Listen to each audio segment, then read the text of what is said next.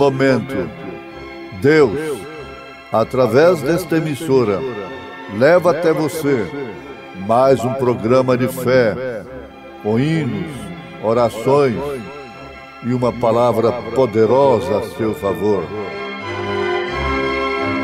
Fé para vencer o mundo.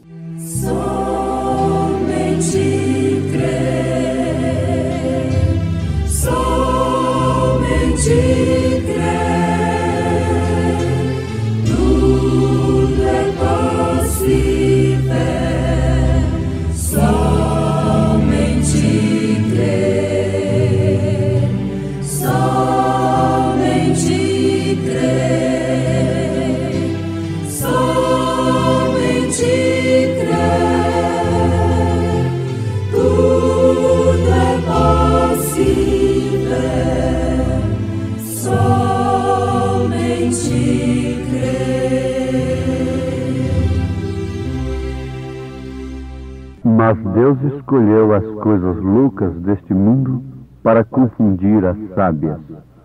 E Deus escolheu as coisas fracas deste mundo para confundir as fortes. Santo, Santo, Santo, Deus onipotente.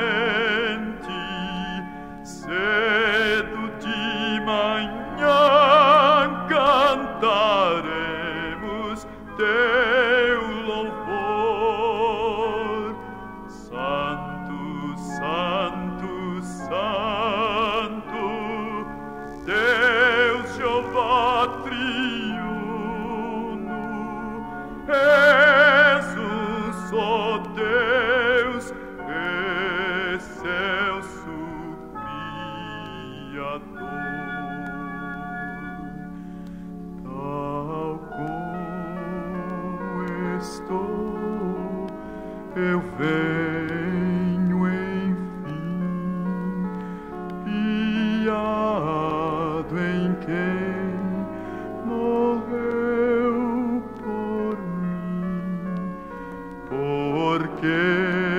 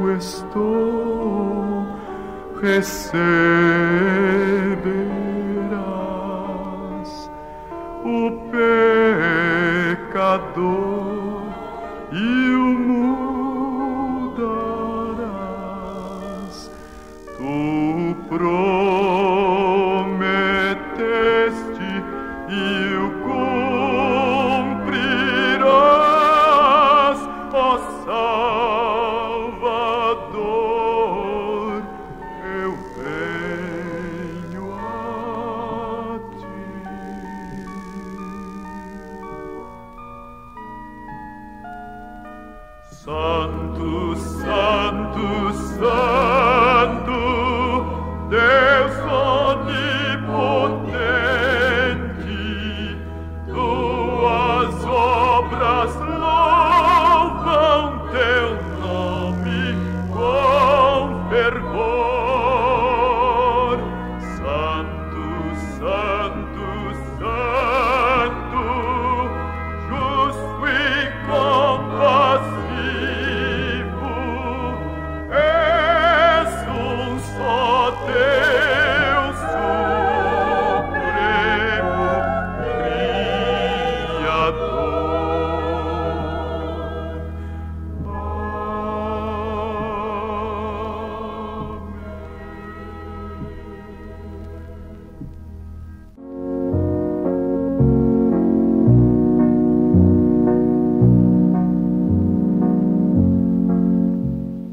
Ouvintes, vamos meditar juntos a verdade para o nosso bem. Quando você precisa de construir um prédio, um edifício, então você logo tem que se lembrar do engenheiro, da pessoa capacitada para aquilo. Quando se pensa, necessita-se da saúde, tem que se pensar no médico. Quando necessita-se da lei, pensa-se no advogado. E assim por diante. Nós temos aprendido que cada pessoa tem o seu valor. Mesmo o servente de pedreiro tem o seu valor. A lavadeira tem o seu valor. O sapateiro tem o seu valor. O lavrador. Vamos todo mundo ser engenheiros, advogados, médicos. E daqui a pouco vamos ter todos lavradores, médicos, não é? Advogados. Bom, com isto nós não vamos, de maneira alguma, defendermos a ignorância. Mas a ignorância só prejudica, nesse caso, só prejudicaria se não houvesse respeito pela posição do outro.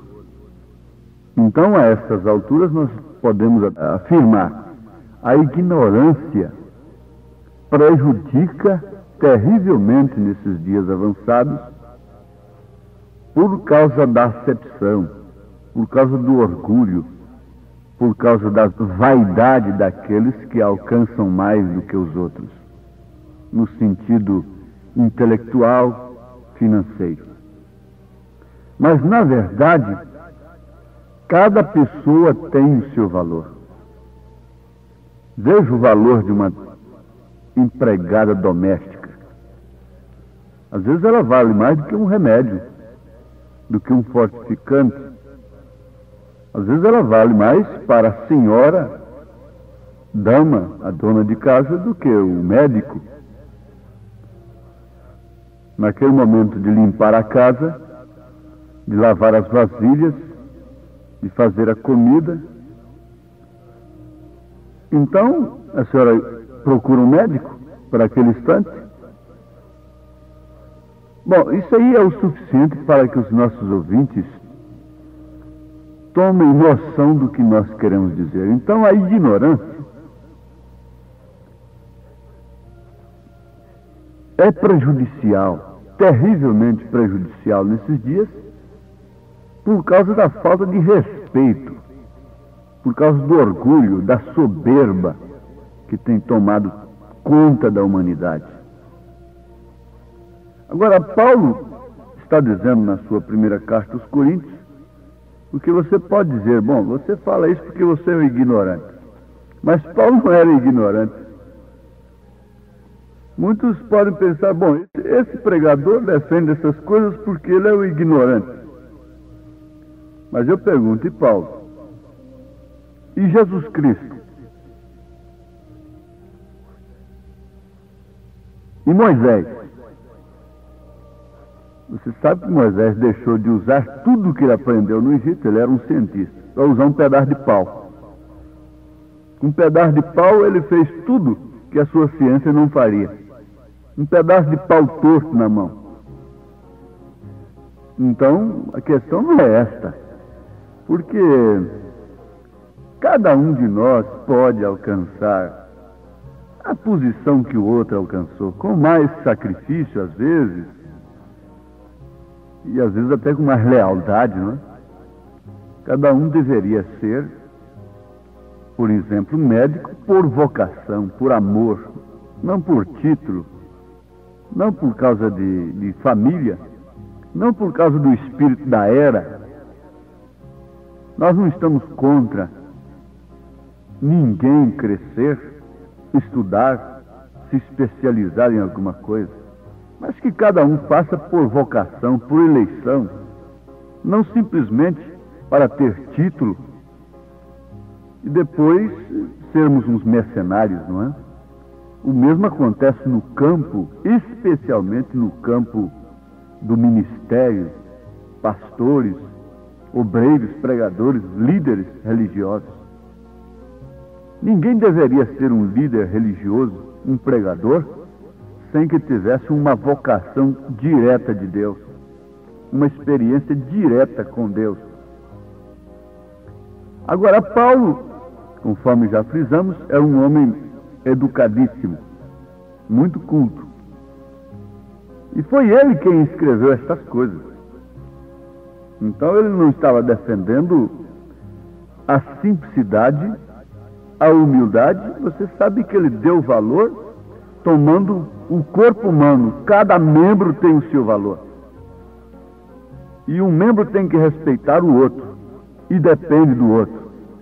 O médico depende do encanador, daquele que vai desentupir o esgoto. Portanto, todos devem ter a mesma consideração. Eu, por exemplo, às vezes espero para ser atendido. E há pessoas que me esperam para que eu possa atendê-las. E naquela hora que elas me procuram, nada, outra pessoa não resolve. Não é o advogado, não é o engenheiro, não é o médico. Na hora que ela precisa do pastor, então é o pastor. Ele é um doutor, então. É o doutor pedreiro. Cada um deve fazer as coisas com consciência, se especializar, ter capricho, porque você é doutor, é doutora na cozinha.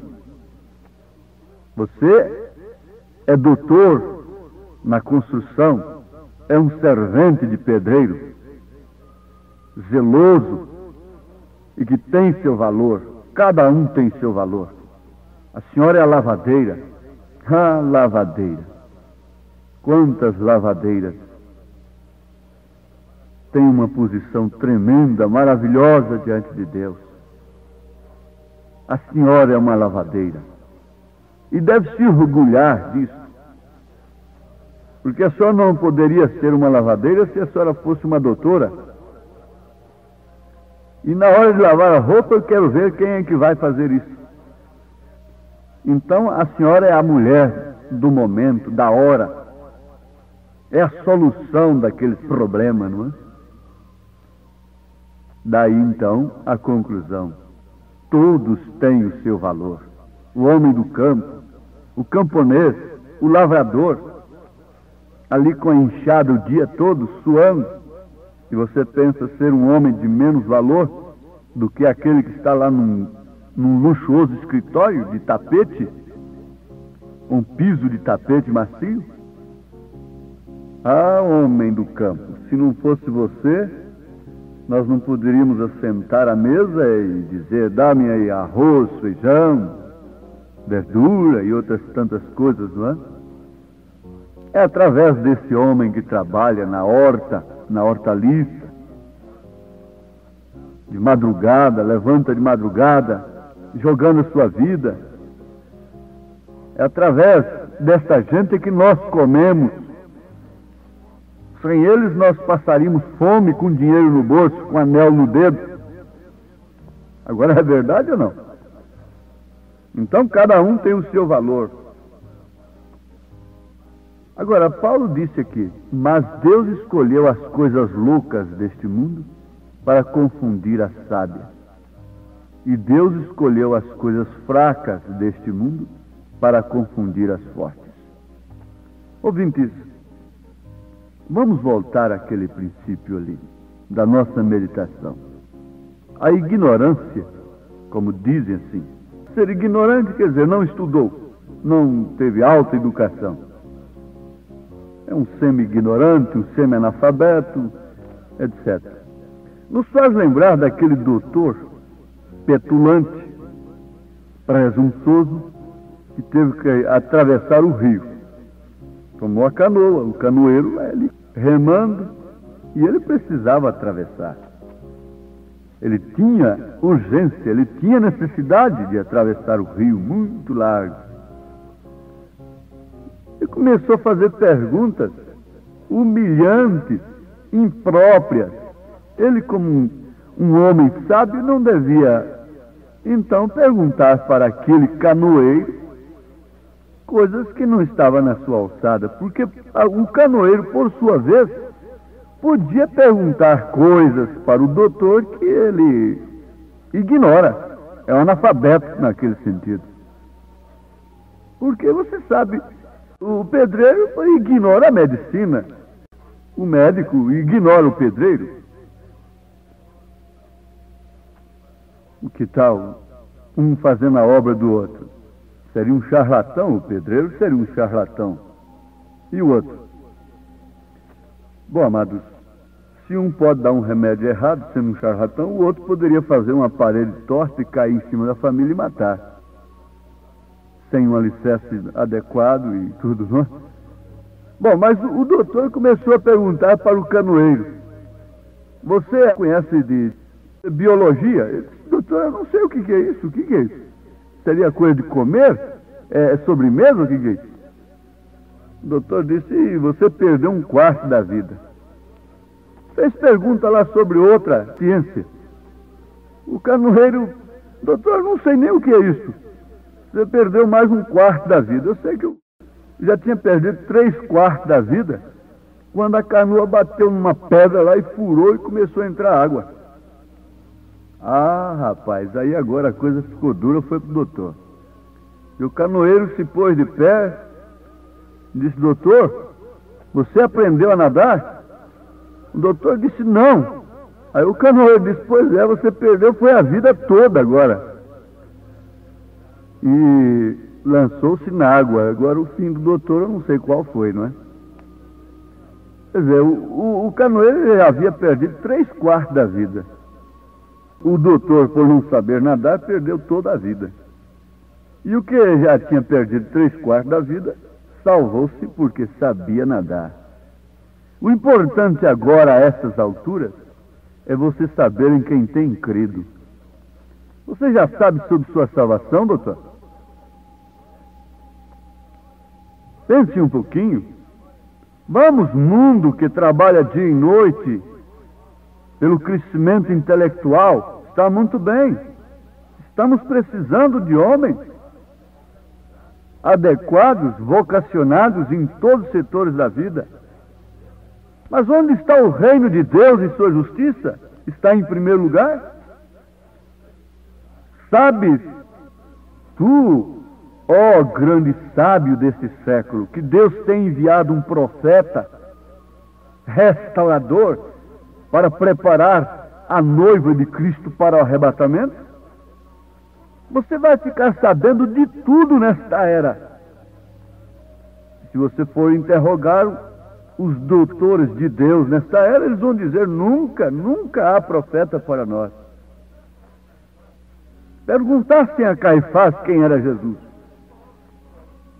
Mas logo, logo, logo a canoa vai afundar.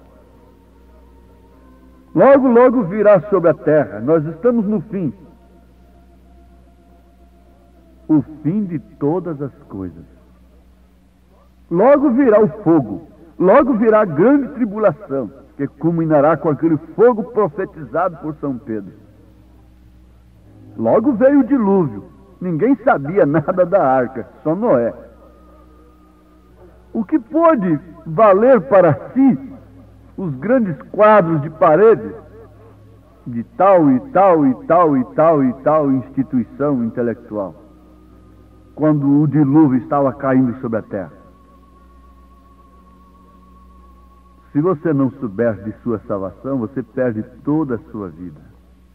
Se você for saber de uma maneira errada, é pior. Para isso, Deus tem enviado um profeta. Você pode procurar a saber de tudo nesta era, mas não quer saber do que Deus está fazendo através da sua simplicidade. Deus escolheu as coisas loucas deste mundo para confundir as sábias. E Deus escolheu as coisas fracas deste mundo para confundir as fortes. Fiquem sabendo disto. Isto aqui que vocês estão ouvindo não é simplesmente uma coisa para encher tempo e para atrair pessoas para um sistema religioso, para uma organização religiosa minha, para terem pessoas sob meu domínio, sob minhas maneiras de crer. Não, não, não. Isso tem que ser um juízo sobre a cidade, sobre uma nação, sobre um povo. Isso tem que ser a voz de Deus nos seus últimos dias, nos últimos momentos. Quando Satanás, sabendo disso, tem usado todos os meios para abafar a mensagem que retorna o povo de Deus à sua origem, à fé apostólica se possível, enganando até os escolhidos, mas não é possível. Onde houver um eleito para o arrebatamento, ele crerá na voz de Deus para os últimos dias. Porque a ovelha conhece a voz do pastor. Se você tem Deus em primeiro lugar, o reino de Deus em primeiro lugar, você saberá dar valor em todas as pessoas, em todas as coisas, em todas as profissões. Você não porá uma coisa só como alvo principal deste mundo. Não, você respeitará a eleição, você respeitará aquele que não entrou pelo mesmo caminho que você entrou, que não tem as mesmas coisas que você tem, porém tem outras. Sabe nadar, sabe fazer outra coisa que você não sabe. Agora, bom é que todos nós caíssemos nesse estado perfeito de uma boa consciência e fizéssemos uma análise. O alvo principal nosso tem sido o quê? Religião não leva ninguém ao céu, não salva ninguém do juízo que está sobre a terra. Somente Cristo, somente Sua palavra e palavra não interpretada, mas palavra revelada pelo Espírito Santo. Baseie sua fé agora no que Deus diz. Prepare-se, procure saber o que Deus está fazendo, e você deixará muita gente falando sozinha e se preparará como Noé preparou, porque o juízo está sobre a terra. Deus os abençoe, ouvintes. Em nome do Senhor Jesus Cristo. Amém.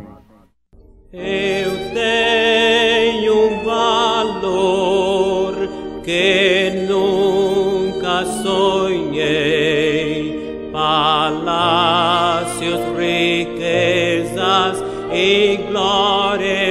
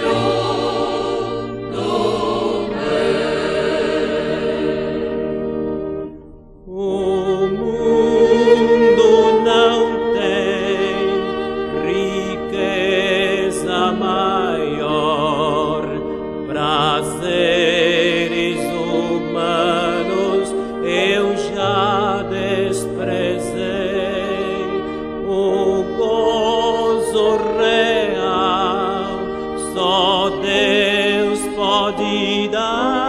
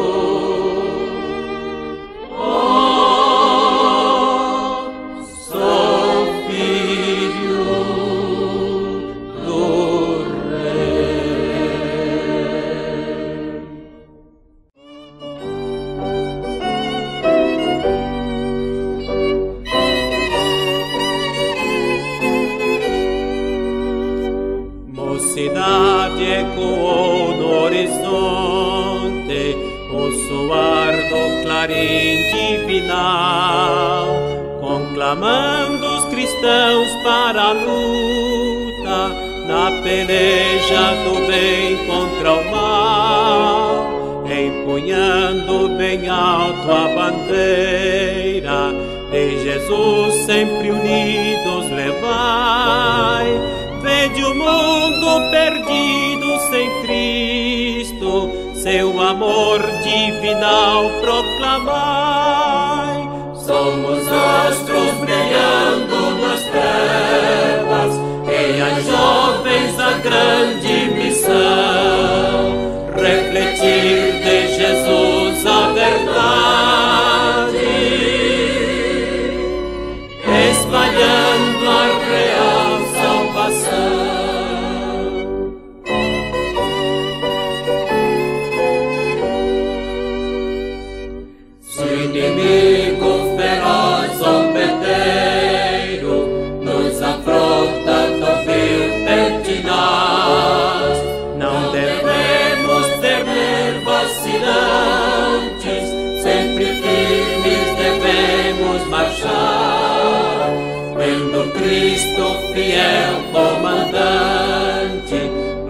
proclamai o Evangelho da paz, como astros formando um luzeiro, pois a ordem de Cristo é brilhar.